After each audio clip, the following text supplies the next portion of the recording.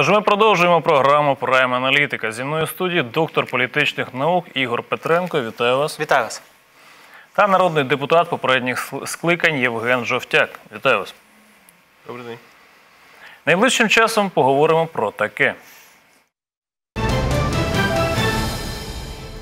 Суд обрав запобіжний захід затриманого по справі Шеремета. Президентське рукостискання 10 за Донбас і 100 за Крим. Президент пропонує спростити отримання українського громадянства іноземцям, котрі служать у ЗСУ за контрактом.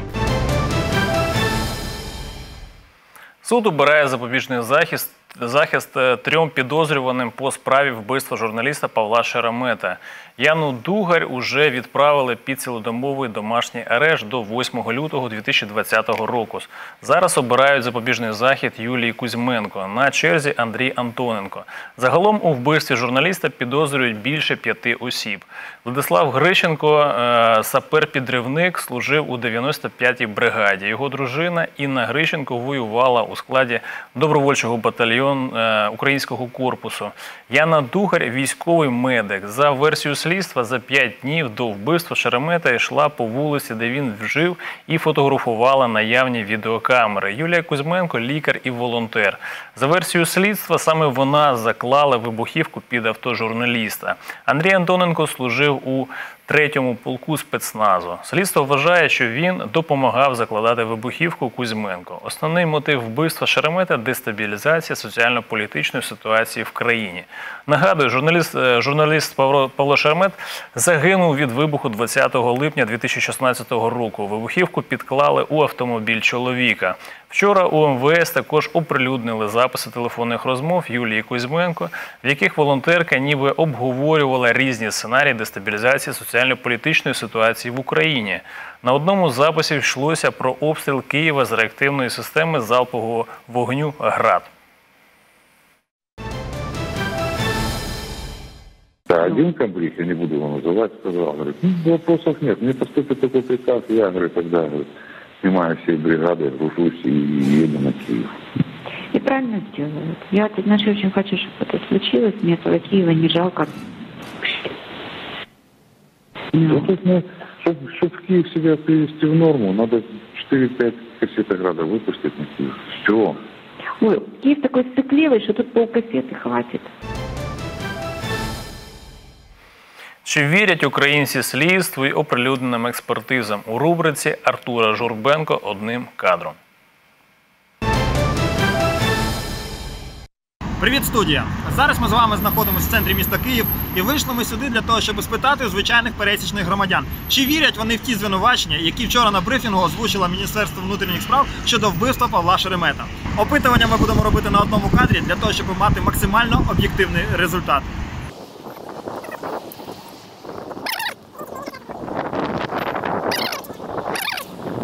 Доброго дня, перепрошую. Одне запитання дозволите? Ну, коротеньке. Е, Чи вірите ви в ті звинувачення, які вчора надало Міністерство внутрішніх справ щодо е, звинувачення волонтерів у вбивстві Павла Шеремета? Я не чув про такі зауваження. Звинувачення не чули такі. Дуже дякую. Доброго дня, запитання можна одне? По дороге пойдемте. Так, от договорились. Е, Чи вірите ви в ті звинувачення, які вчора надали на брифінгу Міністерства внутрішніх справ щодо вбивства Павла Шеремета? А я не смотрела вчера новости. Не знаєте, так? Я не в курсе, да.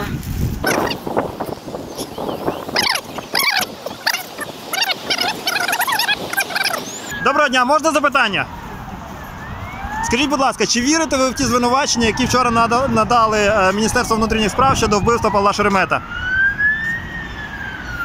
Тобто ви вважаєте, що волонтери е, могли бути вбивцями, так? Да, Дуже дякую. в жизни все возможно.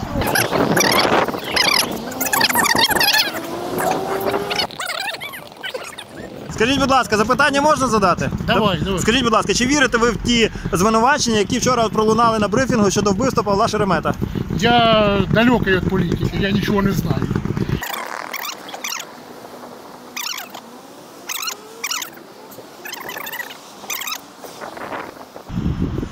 Доброго дня, запитання дозволите? Я опаздываю сильно. А я, якщо по дорозі от з вами так пройдусь, е, просто таке невеличке питання. Чи вірите ви в ті звинувачення, які вчора надали Міністерство внутрішніх справ щодо вбивства Павла Шеремета? Ой, а я даже не смотрела этих э, новостей, не знаю. Ну, е, звинуватили е, волонтерів, які збирали е, на армію е, і на АТО е, гроші, і вони е, по заявам Міністерства внутрішніх справ якраз причетні до вбивства Павла. Чи може таке бути взагалі в Україні? Именно э, Ну, що волонтери. та- волонтеры именно при- Так. причастны? Нет, я не верю. Вибачте, запитання можна? Можно. Скажіть, будь ласка, чи вірите ви в ті запит... е, в ті звинувачення, які вчора надали е, Міністерство внутрішніх справ щодо вбивства Павла Шеремета? Що це могли зробити волонтери? Ну, ми дуже сумніваємося. Сумніваємося. Сумніваємося, чесно говоря, сумніваємося. Е, Можна запитання одне?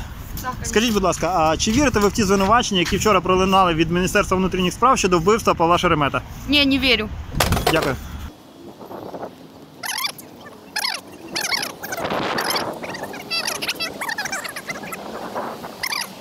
Я перепрошую, запитання вам дозволите задати? Да?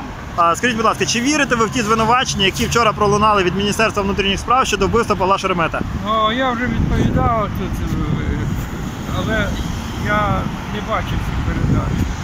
Ну, е, вчора пролунало, що е, до вбивства Павла Шеремета причетні, начебто, волонтери і воїни АТО. Чи може таке бути? Я думаю, що ні. Я думаю, що такого бути не, може, тому що е, про свободу і все інше. Шеремет, передачі там, значить, були в нього.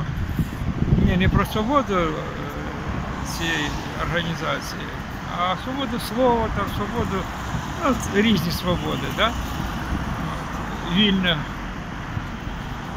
Так що я не думаю, що ще Шеремет це щось інше. Це ну, нема чого показувати, розумієте, починають показувати всяку ерунду, єресь.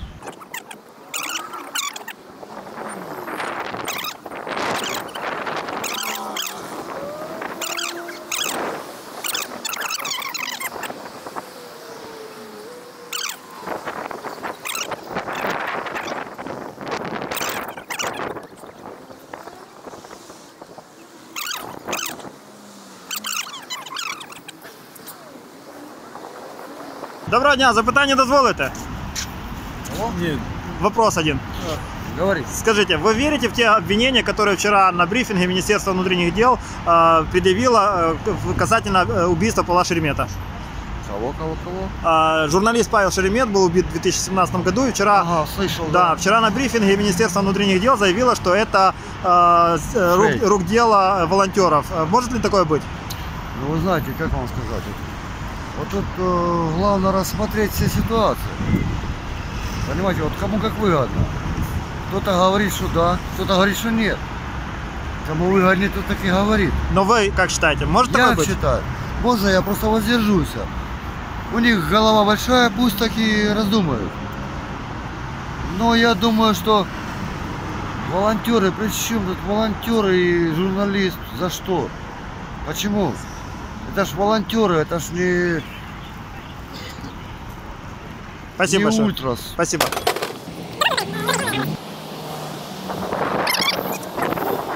Доброго дня, дозволите одне запитання? Скажіть, будь ласка, чи вірите ви в ті звинувачення, які вчора пролунали від е, Міністерства внутрішніх справ щодо вбивства Павла Шеремета? Ну, якщо суб'єктивно говорити, то я не вірю.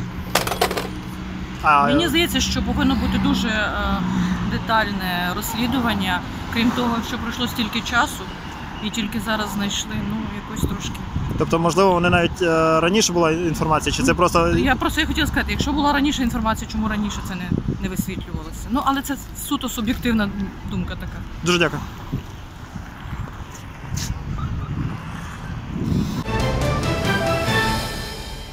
А нашим глядачам нагадую, можете долучитись до розмови у прямому ефірі. Дзвінки безкоштовні.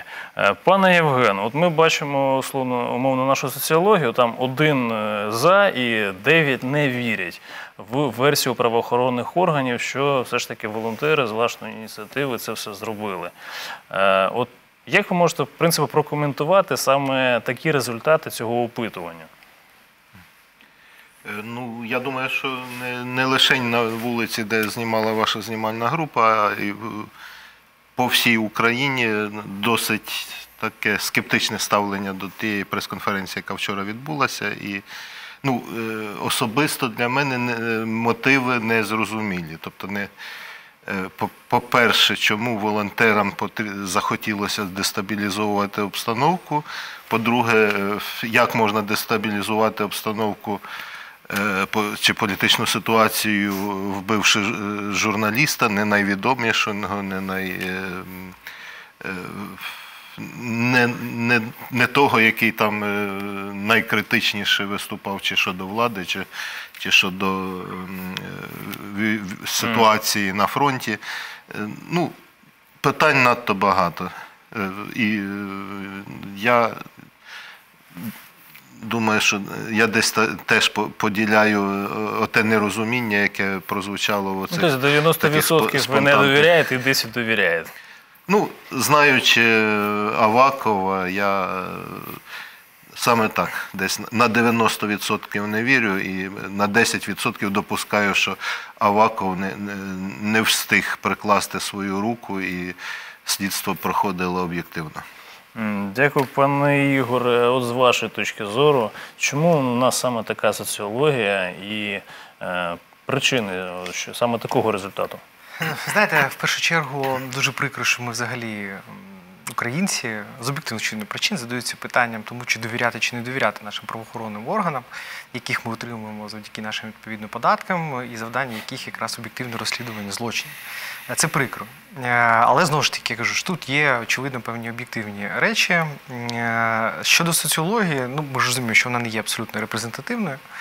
Е, З іншого боку, е, ми бачимо, що в принципі то суспільство більш-менш якось спокійно сприйняло цю ситуацію, навіть поки що там е, праворадикальні організації, зокрема ті, до яких так чи інакше відносяться дані особи, яких обвинувачують в скоєнні відповідного злочину, ну теж особливо не проявляють якось активність. Можливо, поки що, можливо, ми це ще побачимо, а це може стати предметом для певного зіткнення.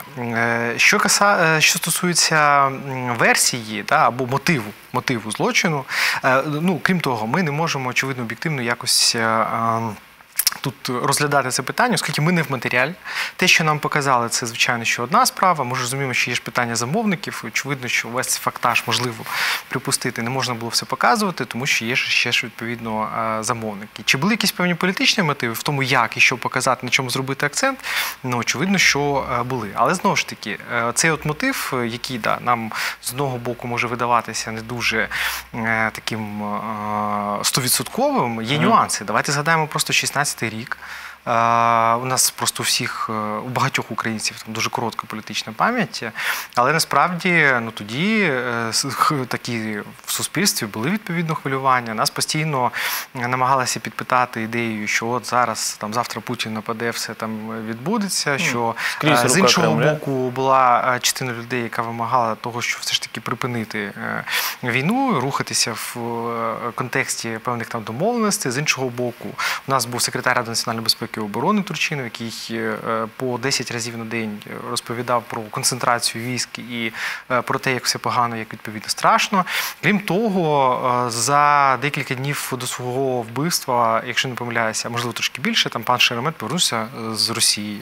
Він там був. Він писав книжку про. Режим Володимира Путіна і так далі. Тому, в принципі, ця версія, якщо е, згадати цю ситуацію, ну вона може відповідати, да, що дивіться, от Путін сюди добрався, вбиває своїх ворогів, е, тому е, значить, нам треба бути там жорсткішими в висловленні своєї позиції, добре. ну і так далі. Добре, зрозуміло. У нас є телефонний дзвінок у студії. Вітаємо вас, ви в ефірі. Алло, Так, так, вітаю. доброго дня. Доброго. Я, знаєте, ви питаєте, чи вірю я, чи не вірю в це розслідування. А я хочу вам сказати, я повірю, коли розслідують рюкзаки Авакова. М, Сформулюйте своє питання. Зрозуміли? Е, Сформулюйте своє питання. М, Вірити можна тоді, коли розслідують рюкзаки Авакова. Угу. Зрозуміло. Ну, їх розслідували. Очевидно, вже є людина, яка визнала свою е, провину. Може нам подобатись, не подобатись, але в принципі розслідування відповідно вже є по справі рюкзаків Авакова. Ну зрозуміло, ви розумієте, що е, МВД, МВС, да, Міністерство внутрішніх справ, це ж не лише е, весь Аваков. Да? Звичайно, він міністр, він має величезний вплив. Але ну хіба серед правоохоронців немає адекватних нормальних людей, немає чесних людей, немає тих людей, які є професіоналами, можуть розслідувати злочини. Тому знаєте, всіх під одну грибінку або відповідно одного керівника теж не варто так зарібати. Ну, М, Дякую. Е, Пане Євгене, от як ви вважаєте, у нас, в принципі, таке склалося враження, що після от цього брифінгу, такого там, де і і Зеленський, Рябошапка виступав і казали, що в принципі е, дуже добру таку велику роботу провели, але співробітники правоохоронних органів, е, якщо я не помиляюсь, голова МВС по Києву, він зробив таку досить таку ну, прямушу заяву, що в принципі вони знають е, замовника потенційно, і можливо, що до цього замовника буде е, дуже скоро відкрита ще одна кримінальна справа і буде притягнута його до відповідальності. Тобто, якщо в принципі є розуміння, хто замовник, чи не вважаєте ви, що логічно було б цього замовника вже арештувати? Але ж ми розуміємо, що якщо це замовник є, то він зараз, після того як виконавців всіх арештували, він просто в- виліте, в- переїде з України до якоїсь е, держави, де немає екстрадиції, і ми просто не побачимо його в Україні, і він таким чином уникне покарання. Чи не логічно було б все ж таки про ну, зразу б арештувати ще й замовника? Вони ж, я так розумію, знають зі слів співробітника МВС, що е, хто це? Ну, е, важко оцінювати е, слова, тим більше я не, чув сами, самих слів, про які ви говорите. Важко давати оцінку. Е, Ну, е, слідство може, мати якусь мету саме та- таким чином. Ну, наприклад, там, щоб замовник, який е, веде е, якийсь спосіб життя, раптово почав робити якісь кроки. Тобто брифінг це частина на- спецоперації, так, з так. вашої точки зору. Ну, ці, ну, цілком можна припустити, бо Ну, така на- навіщо- серйозна спецоперація, так, там, навіщо де- на прес-конференції там, де вниз, говорити, е, що ми знаємо замовника. Якщо знаєте, то арештовуйте. Якщо, е, якщо, якщо є сумніви, то можливо, е, ну, це справді е, замовнику сигнал. Що е, дивіться, ми, ми знаємо, а тепер ми хочемо подивитися, як ти себе будеш вести. Ну, ну Ця прес-конференція для мене особисто більше запитань, ніж відповідей дала. Е, То, то, е, ну, для мене очевидно, що єдина людина, яка була зацікавлена в дестабілізації ситуації в Україні, це Путін. І е, очевидно, що якщо замовник, Ну, зараз просто так, якщо замовник до Путін, до цього, е, вертатися. якщо замовник Путін, е, я в це можу повірити. Якщо замовник якийсь рок-артист, ну я мені важко в це повірити. Дякую, пане Ігор. Як ви вважаєте? Тобто, чому не назвали прізвище замовника? І чи можливо таке, що в такій спецоперації виступав Зеленський, Рябошапка та е, представник там, міністр МВС?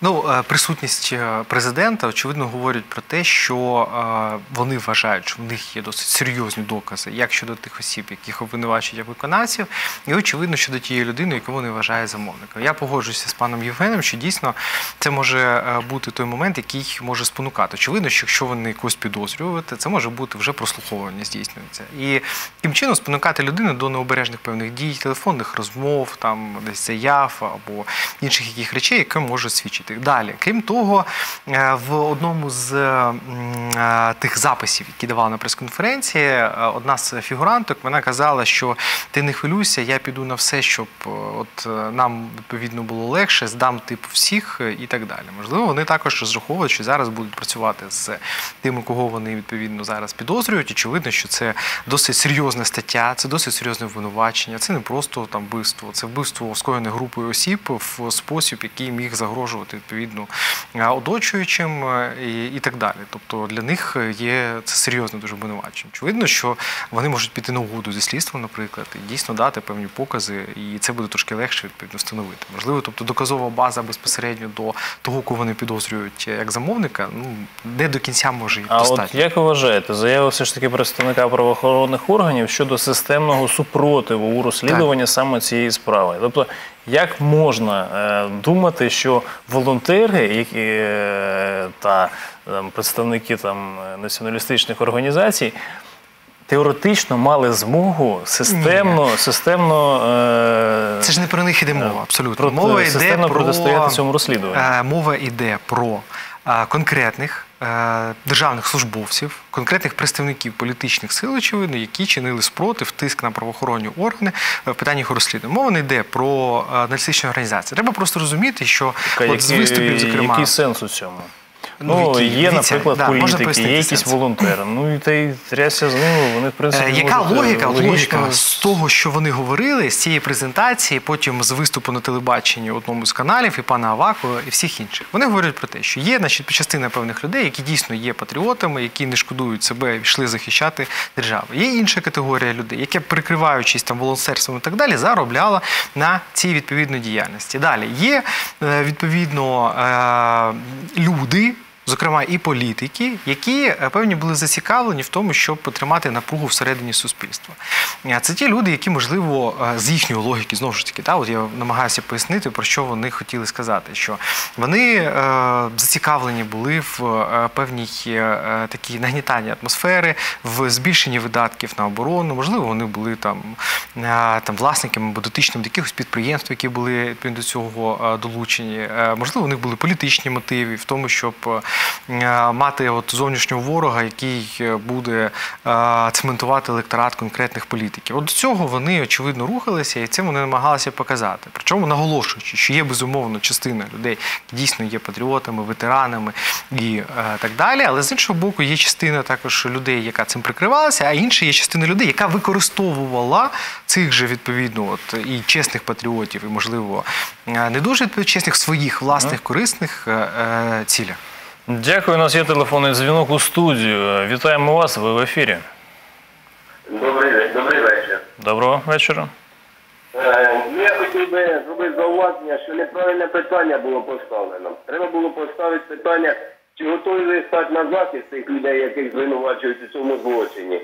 Що вже тому, що ці люди захищали вас учора, а сьогодні у нас виявляють ума, чи, чи, чи ми сприймемося, чи ні. І коли ми це сприймемо, завтра знайдуть, як ви там виясняєте, хто за замовник. Якщо ми толкнемо це, завтра призначать із якихось патріотів і замовника. Оце в цьому така суть цього справи.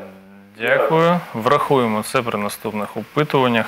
Е, Пане Євгену, то от ми зараз наблюдаємо ситуацію, коли ну, люди об'єктивно не вірять, що замовником і організатором, вір- вірніше організатором цього всього, та, та замовником, я так розумію, був рок-музикант.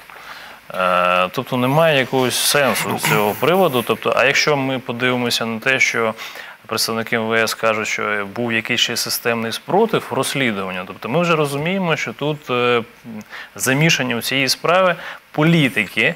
Е, Високої, високого рангу для того, щоб вони теоретично мали змогу якимось чином е, протидіяти розслідуванню. Тобто ми тут е, маємо таку дивну ситуацію, коли суспільство розуміє, що саме, замовники вони з попередньої влади, а конкретно фамілії не кажуть. І хоча хо- хочуть пропихнути такий тренд, що нібито рок-музикант, організатор та замовник з цього приводу. Ну, це, це виходить з підозри, яку зараз Ну, озвучили. ще- раз, е, з того, що прозвучало про е, виконавців е, з боку слідства, е, я не можу е, зрозуміти, які мотиви для них дестабілізовувати ситуацію. Люди добровільно пішли на війну. Незалежно від того, чи, чи в них були лише мотиви захищати Україну, е, чи Я так розумію, вони вже прийшли. Якось, І якось тут мотивом єдиним можуть бути тільки гроші. е, в- е, Які мотиви в дестабілізації можуть людей, які воюють за Україну, які мотиви дестабілізовувати політичну ситуацію в Україні, я, мені не зрозуміло. І я ну, згадується, коли говорили про е, установки залпового вогню, скільки там касет і все, все таке інше. Я, я згадую е, е, справу е, е, Наді Савченко. Ну так, міномети з де, де, де справа?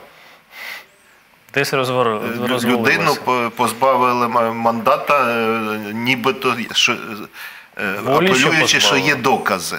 Якщо є докази, то чому справа не в суді, чому немає вироку? Де докази? Е, зрозуміло. Мене, мене таке враження, що е, таке саме буде і з цією справою. Дякую, пане Ігоре. Як ви вважаєте? Тобто ми подивимося на ситуацію більш от, е, з іншого точки зору. Ми бачимо роботу військової прокуратури. Ми бачимо, що люди, які пройшли у нас е, з- з зону АТО, ну, тисячі сидять в, по тюрмам і чомусь правоохоронні органи та військову прокуратуру не хвилювали, що вони там воювали за Україну, там, що вони волонтери. Інше є злочин, є тюрма. І цих справ тисячі, якщо я не помиляюсь, 8 тисяч е, людей вже знаходяться зараз у в'язницях з е, різних причин, як і е, в зоні АТО, як скоєний був злочин, так і на підконтрольній Україні території. І ну, н- ніякого такого резонансу, таке інше. Є злочин, тюрма. В даній ситуації ми бачимо, що ну, це якась делікатна справа. Чи не здається вам, що все ж таки е, організатор цієї справи з колишньої політичної системи та колишніх можновладців України? Ну, тут все може бути, ви ж розумієте. Ми ж не бачимо матеріалів е, справи. В першу чергу хочу сказати, що е, безумовно е, ветерани, люди, які йшли захищати свою державу, вони заслуговують і на повагу, і на підтримку, захист держави, соціальне забезпечення і так далі. Але жодна патріотична риторика чи навіть участь у відповідно бойових діях захищаючи свою державу не може слугувати індулігенцією від скоєного злочину. Не може. Тому тут ну немає питань. Скоїв злочин, значить ти повинен відповідати. Далі ми повинні розуміти, що е, ці люди, які мають бойовий досвід, які брали участь у бойових діях, вони є соціально вразливими е, е, верствами нашого відповідного населення.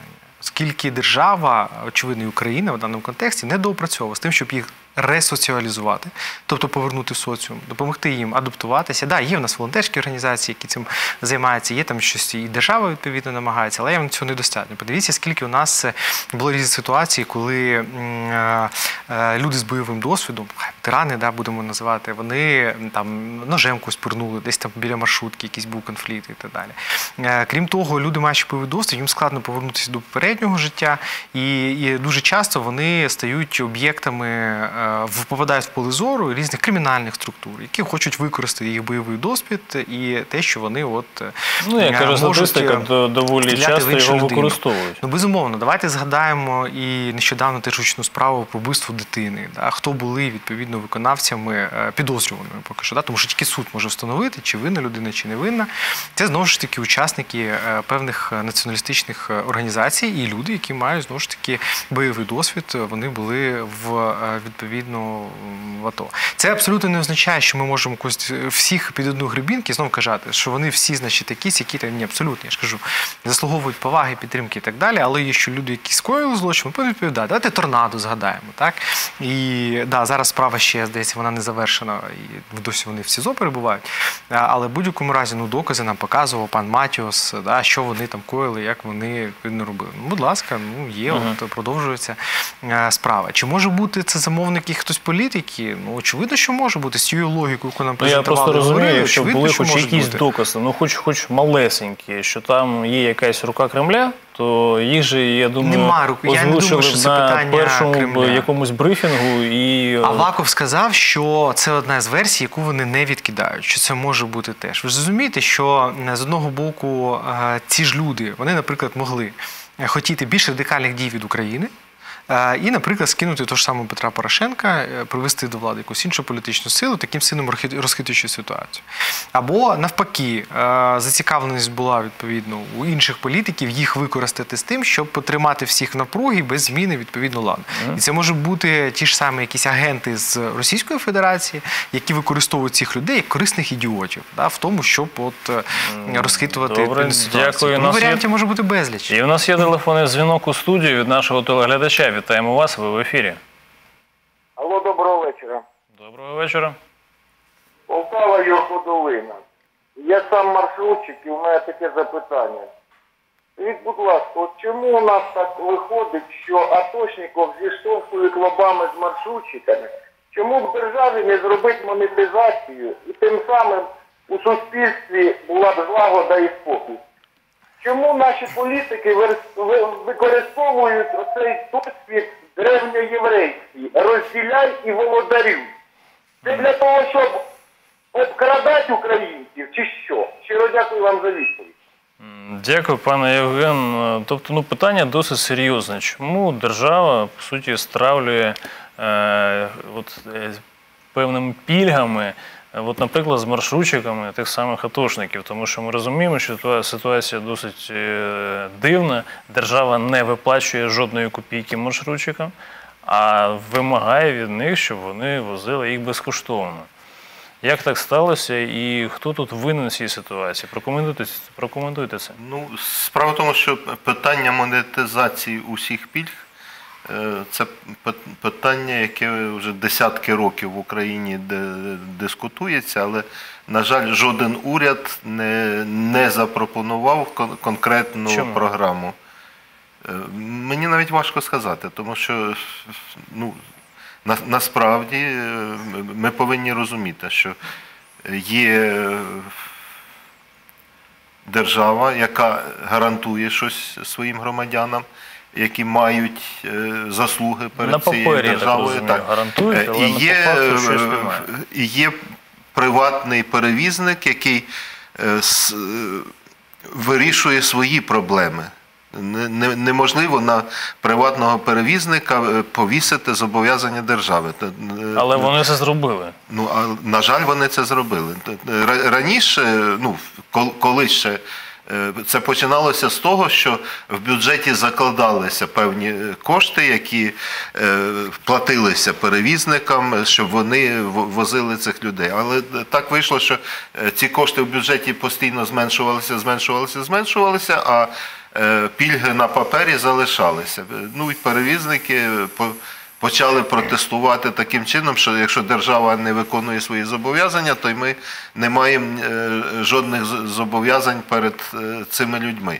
Ну, е, з точки зору моральної, можна там когось водія, який е, грубо е, говорив з ветераном, е, можна е, звинувачувати Але з моральної причина, точки зору. чому він так Але все ж таки все одно причина в не, позиції не, не в водієві. Причина у е, кабінеті міністрів, який не, не може запропонувати проект закону, який е, справді е, робить монетизацію. Ну, тобто це питання до Гончарука. Е, Тобто кожен ну, кожен, хто має на папері в законі якусь пільгу, повинен знати, що е, ця пільга. Е, Коштує стільки-то, і ось держава на твій рахунок перераховує е, таку-то суму, а ти хочеш їздиш, хочеш не їздиш, але е, від цього не страждає перевізник. Тобто ти, ти хочеш їхати, ти ці гроші заплатив перевізнику, перевізник. Має можливість заправити свій автомобіль, має можливість обслуговувати цей Питання автомобіль і так далі. Гончарука. Е. Це, це питання не до водія, не до перевізника, це питання до уряду. Е, Дякую і йдемо далі до інших тем.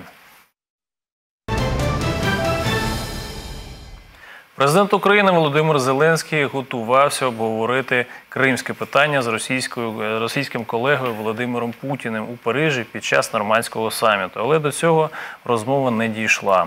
Але якщо Україні повернуть Крим, готовий 100 разів потиснути руку російському президентові. Президентові про це голова держави розповів у ток-шоу Право на владу в ефірі 1+,1. Якщо завтра нам повернуть нашу землю, наш а, тимчасово окупований Донбас, то я можу ще 10 разів потиснути руку. А якщо нам повернуть наш Крим, а його обов'язково колись повернуть, можна і 100 разів потиснути. У Кремлі одразу відреагували на ці слова Зеленського про Крим та Донбас. Що стосується Криму, то краще Путіну тиснути руку, не піднімаючи питання про Крим. Що стосується Донбасу, то тут треба не Путіну тиснути руку, а треба виконувати мінські домовленості. І тоді можна буде усім потиснути руку і привітати з тим, що українці вирішили свій внутрішньоукраїнський конфлікт. Пане Ігоре, як ви можете прокоментувати такі заяви Зеленського і з боку російського представника? Ну, очевидно, це більш така була реакція президента е, щодо Криму. Е, можливо, в зустрічі віч-навіч він міг, звичайно, підняти це питання, але очевидно, в рамках е, нормандської зустрічі ні. Тому що нормандський формат він створений якраз для того, щоб врегулювати ситуацію на сході України на Донбасі. Але по питання Криму у нас немає ще жодного формату в трьохсторонню, чотирьох, п'яти там і так далі, який би це відпрацьовував. Ну тут є певна логіка, оскільки конфлікт на Донбасі він є відповідно гарячим, тому його треба швидше е, відповідно припиняти. Ситуація з Кримом вона є дещо інша. Хоча ем, все одно ми маємо реакцію і санкційний тиск на е, відповідно Російську Федерацію як у питанні Криму, так і у питанні відповідно Донбасу в частині невиконання мінських домовленостей.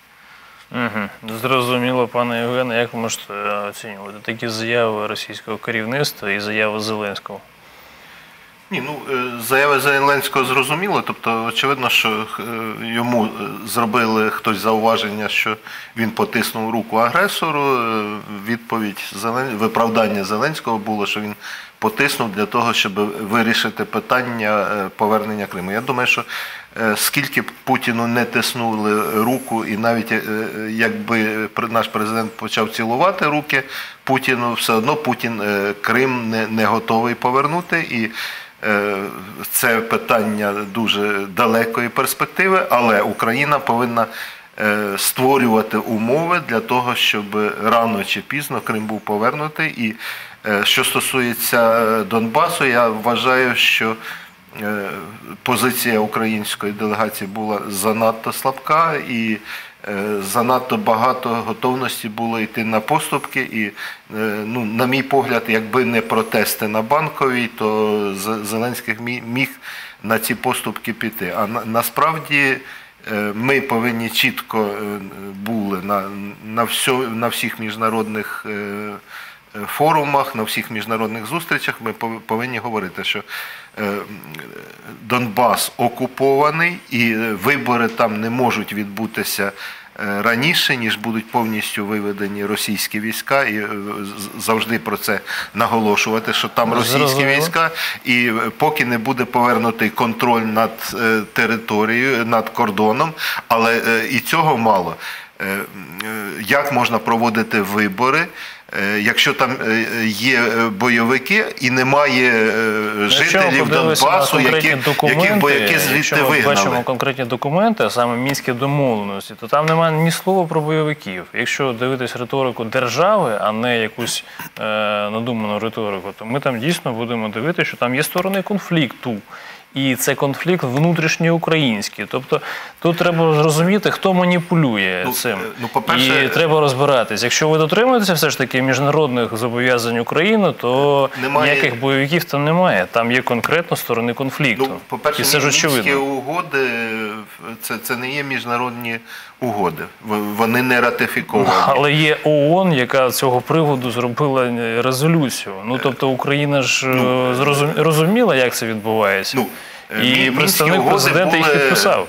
Чекай, мінські угоди були досягнуті тоді, коли Росія, російські регулярні війська вели наступ на нашій території. І очевидно, що попередній президент е, був в такій ситуації, пане що, що він е, мав іти на якісь у нормандської зустрічі, там в підсумковому документі там йдеться про саме мінські домовленості. і правильно, це, і а це вже це- той, той формат документу, з яким обговорюється з Макроном, з Меркель, з Путіним, таке інше. Тобто не, не можна казати, що мінські домовленості це якийсь папірець. Це вже не Так, папірець. Тому що, тому що е, Зеленський не захотів вимагати нових угод. Ну, сьогодні вже весь світ знає, що там є російські війська. Сьогодні вже весь світ знає, що е, е, Росія агресор. Е, Якщо не Чому? довіряти ОБСЄ, це можливо так. чому президент України не хоче про це говорити? Не хоче говорити про те, що російські війська мають звідти бути виведені. Так він про це говорить. Ні, так він говорить тут. Чому він не говорить на, на зустрічах? Так, в мінських домовленостях це ж прописано. Прописано, що? що в Мінській- вивід усіляких військ, в тому числі і російських. Ні. Ну, в мінських домовленостях е, про, написано багато пунктів без вказання, е, які пункти за якими мають бути виконані. Тому там іде Це перелік вже пунктів. риторичне питання. Е, Ми зараз приймаємо дзвінок у студію від нашого телеглядача. Вітаємо вас, ви в ефірі. Так, так, доброго вечора. У мене питання е, стосується е, ведучого. Ви ведете е, абсолютно антиукраїнську е, риторику. Мені подобається е, відповіді екс-депутата, ну, ну, який був депутатом минулих скликань. Він вам роз'яснює е, суть питання. А ви хочете щось переконати слухачів, яких Е, Сформулюйте своє питання. антиукраїнських питань. Ваша риторика зводиться до антиукраїнської агітації. А в чому це полягає? Ну, в чому саме? ваш- вашій риториці.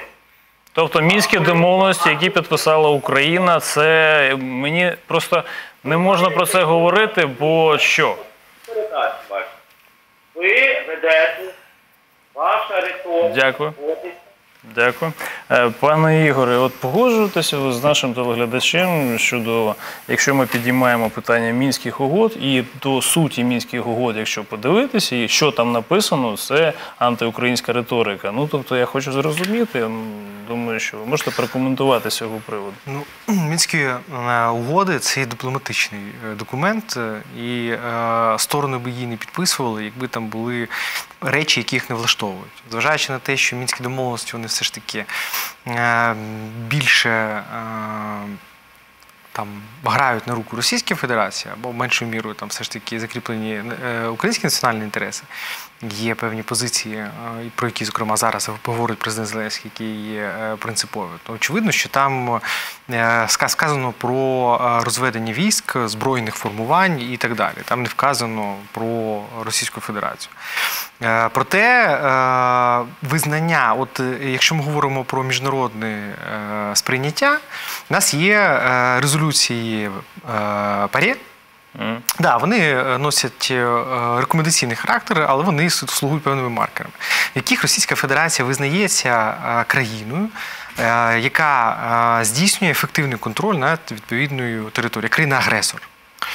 Дві резолюції відповідно пареї, про які вони говорять. Є відповідно фіксація прямих е, сутичок Збройних сил Російської Федерації українських військ. Це, зокрема, Дебальцевий, Іловайський котел. Це є е, відповідні звіти і доповіді Міністерства оборони України.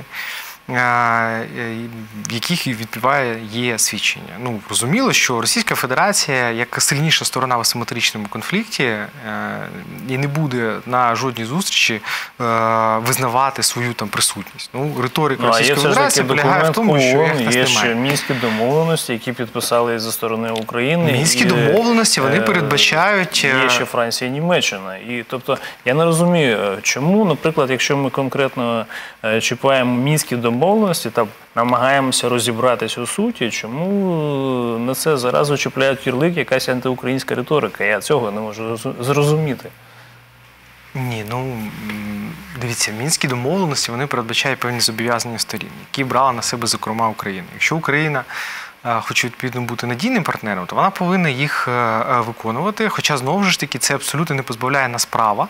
Е, Намагатися змінити деякі положення, які нас не влаштовують. Ну, Зеленський, до речі, цього зокрема, є позитивні моменти в тому, що пані Меркель вона все ж таки сказала, що мінські домовленості вони можуть бути гнучкими у певних питаннях, зокрема і у питанні контролю над кордоном і проведення відповідних виборів. Це певний позитивний момент. Чи буде йти на це російська сторона? Ну це інше питання. Да? Ми можемо звичайно говорити багато, що в якій ситуації підписувалися мінські угоди, да? що дійсно була складна ситуація на фронті, треба було знизити відповідно градус, але з іншого боку, ну є певні зобов'язання, які ми брали. І тепер е, завдання, і ця от гра, яка вже довго е, йде, полягає в тому, показати, хто більше не виконує, да? або в кого звинуватити. І якщо е, і лише в тій ситуації, коли можемо показати, що, наприклад, російська сторона їх не виконує, так або відповідно бойовики. Тоді це проукраїнська риторика. Е, Тоді та не в тому суть. Там українська риторика е, немає. е, Є, да, звичайно, певні національні інтереси, які варто було б забезпечувати. Крім того, є ж інше питання, зокрема, яке зробив відсилання Зеленський. Він говорив про копенгагенські критерії, якраз в контексті відповідно виборів щодо того, що це забезпечення політичних прав. Політичні права без присутності держави, яка виключно має е, сама одна єдина монопольне право на застосування сили, в тому числі забезпечення відповідних там е, прав, не можуть проводитися вибори, вони будуть недемократичними. Він про це сказав, зробив відповідну відсилку. Це може бути предметом відповідно е, певної е, дискусії. Боїнські домовленості можуть там подобатися, не подобатися, але вони дійсно є поки що тим фундаментом, на основі якого є збудована підтримка Україні і навколо якого збудовані санкції проти Російської Федерації. І заяви тих політичних сил, які кажуть, що можна відмовитися від них, безвідповідальні. безвідповідально. Е, Оскільки нехай тоді вони розкажуть про наслідки, і як швидше тоді Росія піде з санкцій, або шляхом економічної співробітництва там з Європою через е, Північний там поток 2 і так далі, або через те, що ми зараз от скажемо, що мінські домовленості відповідно ми їх не будемо е, виконувати. Тому знову ж таки, поки що дійсно, але це не позбавляє права нас, як сторону, яку не влаштовує, і те, що ми там підписували невигідні для нас ситуації, намагатися їх відповідно змінити. Що, в принципі, Зеленський робить. Ну, очевидно, так. Е, Я нашим глядачам нагадую, що в принципі е, питання щодо мінських домовленостей і до суті мінських домовленостей, я думаю, що дуже важливо це розуміти і е, е, робити висновки з цього приводу суті цих документів, тому що без знання щодо конкретних пунктів і положень і е, причинно-наслідкового зв'язку з цього приводу дуже важко зрозуміти реальну ситуацію і Ну, це очевидно, що чим більше ми з цього приводу будемо е, мати знань, тим швидше все ж таки конфлікт на Донбасі вирішиться. Я думаю, що це дуже важливо. І йдемо далі до інших тем. Іноземцям, котрі служать чи служили за контрактом у ЗСУ, спростять процедуру отримання українського громадянства. Відповідний законопроект підготував президент України Володимир Зеленський. Він пропонує видати українські паспорти особам, котрі виїхали е, з батьківщини через політичне переслідування та людям, які допомагали у забезпеченні національної безпеки та оборони за умови подання декларації про відмову від іноземного громадянства. Е, Пане Євген, як вважаєте, чи доцільна ця ініціатива саме зараз, коли от е, дуже сильно змінилася криміногенна ситуація в Україні, і дуже багато людей, які пройшли були бойові дії, і зараз е, ще певна кількість людей може отримати ще громадянство України та залишатись на території України легально? Ну, я так розумію, що в цьому законопроекті в першу чергу йдеться про осіб, які брали участь у е, обороні України під час агресії Росії проти України. І, е, на мій погляд, е, було б доречним е, саме спростити процедуру надання громадянства. Але безумовно, що безпекова складова теж е, повинна залишатися. Тобто, е, ну, якщо людина е, обґрунтовано якоюсь державою звинувачується в якихось кримінальних злочинах, то, то очевидно, що ми повинні все-таки подумати, надавати громадянство чи не надавати. Якщо е, людина обґрунтовано доводить, що вона е, піддавалася політичним переслідуванням в тій же Росії, то, то очевидно, що ми е, повинні йти шляхом спрощеного надання громадянства. Угу. Зрозуміло, у нас є телефонний дзвінок від нашого телеглядача. Вітаємо вас, ви в ефірі. Алло, добрий вечір. Доброго вечора. Іван Діброва, Гуляйполе. У мене два запитання. Запитання перше. На думку ваших гостів, на скільки років затягнеться цей конфлікт на Донбасі? І друге основне питання. Я теж маршрутчик, то скажіть, нам атошників ще більше додалося в автобусах. Ви розумієте, що я ж своїх дітей не накормлю корочками атошників. Чи розуміють це депутати, чи ні? Ви можете щось зробити, чи їх підсказати? Дякую. Питання зрозуміло, пане Ігоре. Ну, е, з приводу цього закону, е, безумовно, якщо людина вона віддавала своє там життя і здоров'я на захист там України з різних мотивів йшла добровольцем, е, може претендувати на спрощене отримання громадянства. Ну, за умови тих об'єктивних речей, безпекових, да, там, не будучи там злочинцем і так далі. Очевидно, що теж її треба доводити. Ну, у нас є процедура надання політичного притулку, ну, можливо, громадянства звичайно, трошки інший е, момент, але в цілому е, може відбутися. Е, Питання щодо е, дійсно проблеми, про яку вже частково пан Євген говорив, про те, що в нас є певні там дотації, підтримка для атошникам, але вони не виконуються зобов'язання держави. Тобто зобов'язання держави відшкодовувати тим е, е, приватним е, підприємствам, які надають відповідні певні послуги за пільгою, цю пільгу відповідно від е, держави. Тобто держава дійсно не може перекладати на них е, свої якісь певні зобов'язання. Це предмет очевидно окремої розмови. Це питання дійсно відповідно до уряду, це питання і до народних депутатів, які формують бюджет для того, щоб закладати відповідні кошти на реалізацію тих програм. А дійсно кидати це питання на рівні того, що от ви там самі розбираєтеся, або ставити в кут е, е, представників е, маршрутчиків, да, грубо кажучи, ну, Мгм. звичайно, це абсолютно неправильна річ. Тому це питання дійсно більше до уряду і відповідно до е, бюджету. Те, що гарно можна там намалювати багато чого. Ну це ж питання земельними ділянками, наприклад, атошникам. Деяко не всі їх можуть отримати. Потім виникають різні корупційні схеми, коли представники там і різних політичних сил, навколо політичних сил, навіть кримінальних груп, вони виходять собі там, забирають ці землі під е, свої якісь е, потреби. Ну це теж відповідно предмет окремої розмови.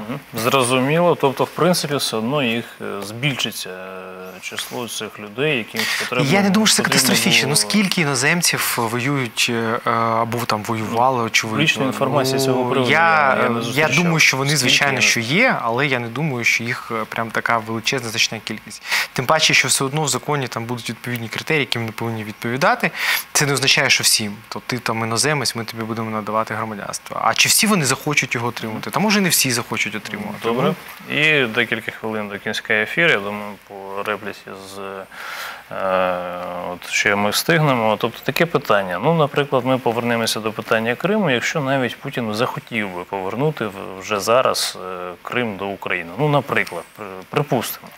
Е, Чи може він фізично це зробити, тому що е, е, дії з цього приводу буде розцінено російським законодавством як е, відокремлення частини Російської Федерації. І це державна зрада, і від 8 до 15, якщо не то це по нашому законодавству, а в них там законодавство теж буде це конкретний е, термін. Тобто, як ви вважаєте, це можливо, це навіть теоретично, без якоїсь там конфлікту всередині Росії та якогось ну дуже незрозумілого сценарію. Ні, при, при сьогоднішньому розкладі е, сил, е, безумовно, що це важко припустити.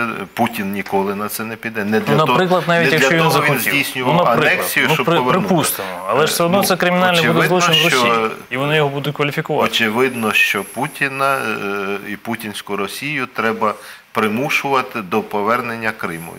Зрозуміло, що е, наша е, сьогоднішня економічна і військова міць не дозволяє примушувати самостійно. Очевидно, що ми маємо апелювати до міжнародного Так, співтовариства. а яким до... чином?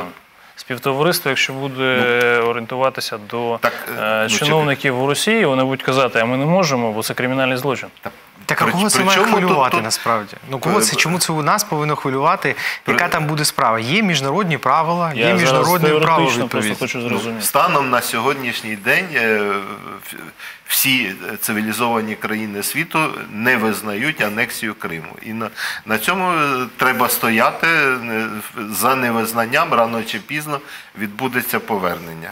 А Дякую. коли це відбудеться, очевидно, що залежить е, в першу чергу від нас. Наскільки ми будемо е, потужні е, військово і е, політично, і залежить від того, наскільки ми будемо переконливі в Організації Об'єднаних Націй, в ОБСЄ, в ПАРЕ і в інших міжнародних організаціях. Добре, пане Ігоре, з вашої точки зору, коментар. Можливо, чи це е, зсередини, якщо там буде ініціатива цього Питання приводу? Криму тут ну, взагалі зараз ставити е, немає. Ну варто про це звичайно говорити, там тиснути і так далі. Але щодо вирішення цього питання, ну перспективи поки що е, немає. Питання от конфлікту на Донбасі, 20-й рік буде показовим. Зараз є вікно можливостей, які ми або можемо скористатися, або можемо не скористатися. Накладаються інтереси наших західних партнерів, в першу чергу Німеччини і Франції, так і самого Путіна. Теж є відповідні інтереси в тому, щоб все ж таки е, відновлювати там кооперацію співробітництво з Європейським Союзом. І він може йти на певні поступки, зокрема і ті, які хочуть відповідно Україна у питанні Донбасу. Питання Криму воно поки що не пропрацьовано, стратегії відповідно немає. Окрім того, що є звичайно санкції, дуже добре, що не визнання. Це тут плюс якраз в тому, що Російська Федерація сама визнала окупацію. Тоді, коли вона створила там свої відповідні органи, вона визнала. А в ну, Донбасі там вона не створювала своїх Дякую. органи, а це все ж таки І, на жаль, час нашого ефіру вичерпано. Я дякую нашим гостям. Це була програма Prime Аналітика. Усі наші програми ви можете подивитись на сайті телеканалу tvkrt.com.ua. Тож долучайтесь до нас у Facebook, Instagram, Twitter та YouTube. Не перемикайтесь попереду ще багато цікавого.